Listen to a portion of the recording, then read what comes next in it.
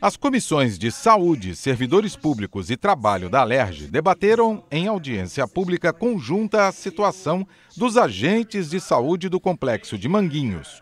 Eles estão ameaçados de demissão coletiva pela Prefeitura do Rio. A reunião foi articulada pelos funcionários, que temem perder o emprego e trazer grave prejuízo para a população, não só de Manguinhos, mas do Jacarezinho e do município em geral.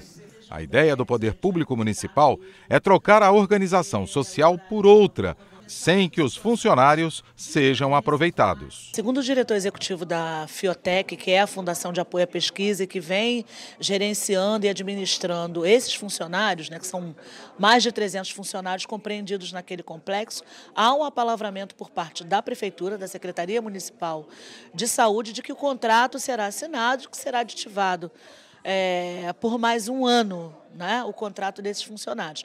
Há o apalavramento, mas não há o contrato assinado. Todo esse processo de criação das OS, 2009 aconteceu isso. Lamentavelmente, nós sempre lutamos contra, votamos contrário. Isso é um absurdo. Essa administração ProS, hoje no Rio de Janeiro, no município do Rio de Janeiro, mais de 50% das unidades são administradas por OS e a qualidade da administração é muito ruim. Isso que está acontecendo em Manguinhos é mais um retrato de tudo. Ou seja, não há segurança para o trabalhador e cada vez mais as OS querem burlar a legislação e, de alguma maneira, cortar o direito dos trabalhadores. Os funcionários que trabalham na atenção básica da UPA, Clínica da Família Vitor Vala, mais os agentes comunitários de saúde, estão em aviso prévio.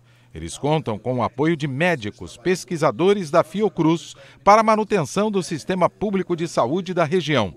O Centro de Atenção Psicossocial CAPS Magal, que também fica em Manguinhos, poderá ser afetado. Quando o serviço é descontinuado, a população desacredita. Então você perde um trabalho de anos, que é fidelizar aquela população, que é tratar com aquela humanização para que ele se, é, é, tenha, é, tenha em você, num profissional de saúde, né, que ele, a população tenha uma confiança para falar, para se abrir até né, nas suas questões, porque o, trabalho na área da saúde é um todo. Né?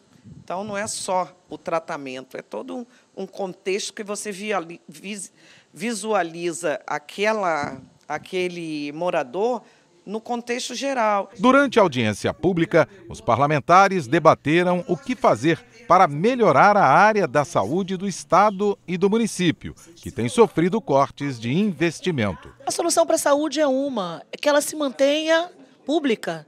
Nós defendemos uma saúde pública de qualidade, né, com planos de cargos, carreiras e salários, com profissionais né, sendo cada vez mais qualificados e que haja o controle social. Sem uma saúde que seja pública, né, que não possa é, ser alvo do escrutínio de toda a população, não só das instituições como o Legislativo ou o Ministério Público, mas de toda a sociedade, não há é, resolução.